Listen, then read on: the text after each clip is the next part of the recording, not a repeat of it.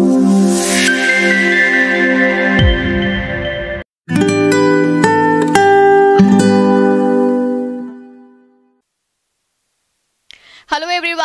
Welcome to ज्ञान सागर classes आज की वीडियो में हम लोग डिस्कस करने वाले हैं अभी जो रिसेंटली अपना फाइनल का पेपर हुआ है पेपर नंबर थर्टीन जो अपना है कॉरपोरेट एंड इकोनॉमिक लॉज उसके बारे में हम लोग डिस्कस करने वाले हैं। बेसिकली एक शॉर्ट रिव्यू हम लोग करने वाले कि अपना पेपर कैसा आया था। सो so, अगर हम पूरे पेपर को देखें तो बहुत ही ईजी पेपर है।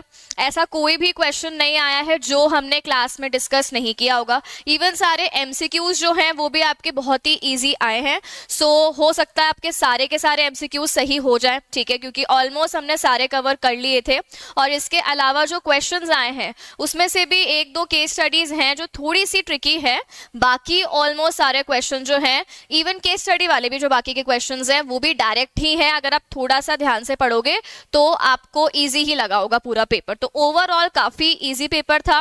एंड अगर आपने अच्छे से अटेम्प्ट किया है तो आपकी एग्जामेशन भी बहुत ईजीली आ सकती है, ठीक है?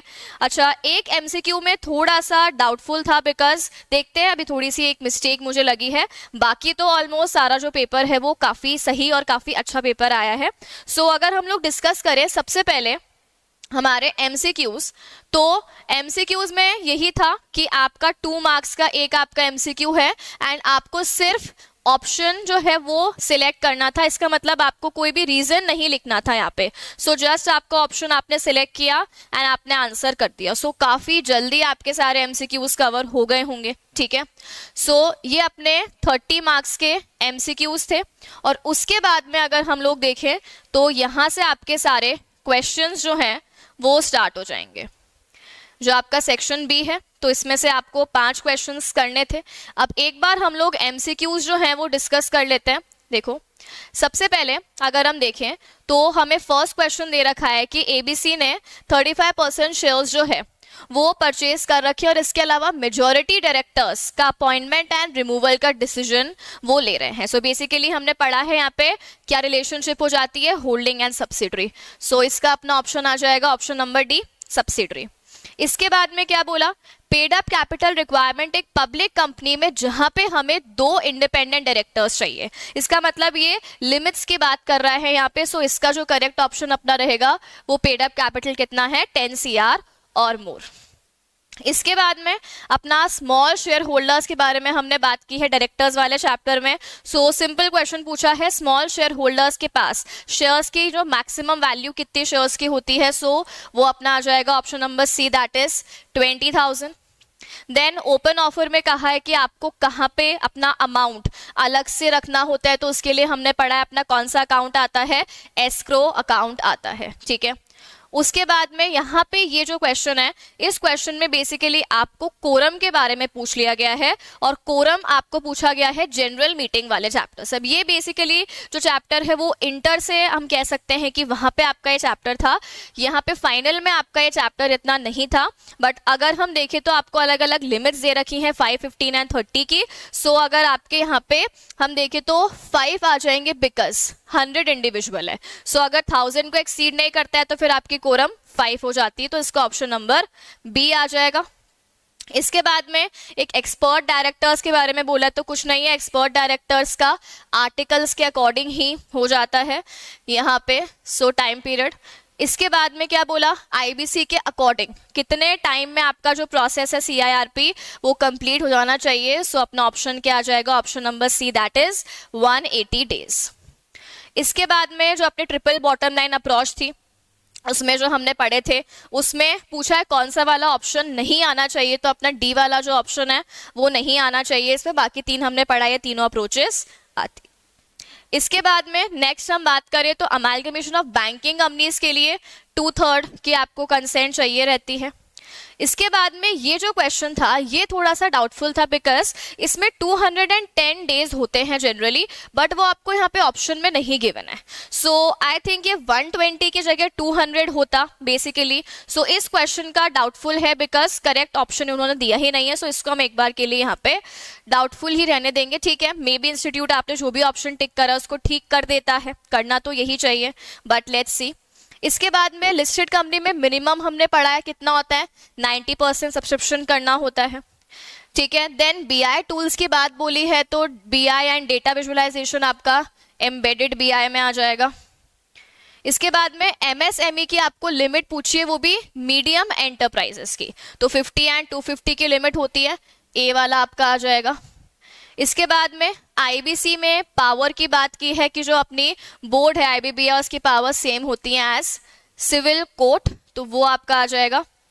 एंड देन आपका यहाँ पे पूछा गया मिनिमम पेड अप कैपिटल जो होता है इंश्योरेंस वगैरह के लिए वो हंड्रेड सो so, ये अपने सारे एमसीक्यूज हमने इवन जो अपने कॉपी में नोट्स बनाए हैं वहाँ पर ये सारे मैंने स्टार मार्क भी आपको याद होगा तो हमने 90 परसेंट तो स्टार मार्क करके भी कर रखा था कि ये जो टॉपिक्स हैं वो कवर यहाँ पे हो जाएँगे. चलो. अब आ जाओ यहाँ पे सेक्शन बी सेक्शन बी भी आपका काफ़ी इजी ही था. क्वेश्चन टू तो एकदम डायरेक्ट क्वेश्चन आया है. क्लास एक्शन सूट्स के बारे में आपको लिखना था. एकदम डायरेक्ट हमने पढ़ा हुआ है सेक्शन 245 में. एंड देन कौन से पर्सन अलाउड नहीं है? आईबीसी के अंडर तो जो आपके बैंकिंग एंड फाइनेंशियल वाले होते हैं, उसके बारे में आपको पूरा यहाँ पे लिखना था.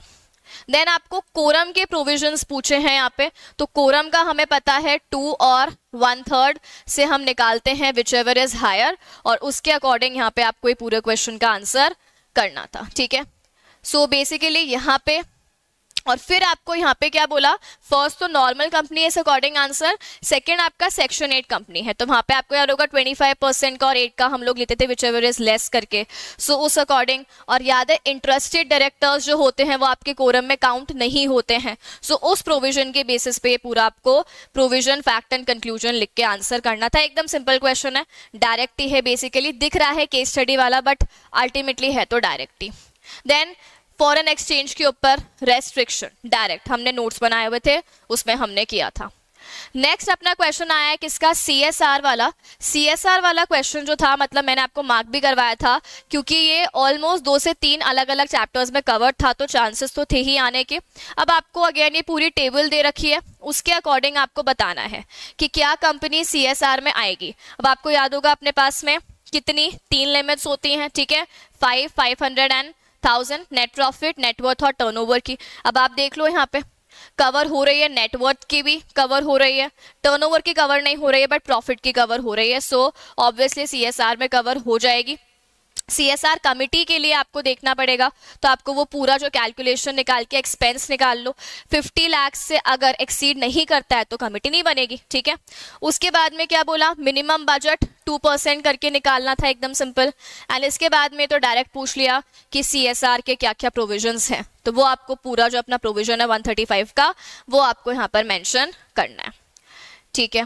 उसके बाद में यहाँ पर एक क्वेश्चन आपका दिया हुआ है डायरेक्टर्स का कि डायरेक्टर्स ने यहाँ पे एक मीटिंग की थी और दिनेश के अपॉइंटमेंट की यहाँ पे बात हुई है कि दिनेश को वो एजीएम में अप्रूवल दिलवाने की बात कर रहे थे बट वहाँ पे उसका अप्रूवल नहीं हुआ। आपको याद होगा हमने जब डायरेक्टर्स वाला चैप्टर किया था इसको हमने अलग से स्टार लगाया था। मैंने बताया था ये जो आपके डायरेक्टर्स होते हैं अपॉइंटेड बाय बोर्ड ये उन्हीं पे एप्लीकेबल होगा जो एजीएम वाली चीज़ है। सो so, यहाँ पे आपका क्या बोला? जो डायरेक्टर को एजीएम में अपॉइंट नहीं किया गया, वो डायरेक्टर को क्या आप एडिशनल डायरेक्टर रख सकते हो? हाईलाइट भी किया था हमने सो इस केस में आपका आंसर होगा नो जो एजीएम में ही अप्रूव नहीं हुआ, उसको आपने अगली बारी बोर्ड मीटिंग में कैसे अपॉइंट कर लिया? सो ये हमने प्रॉपर वहाँ पे मार्क करके लिखा है, ठीक है?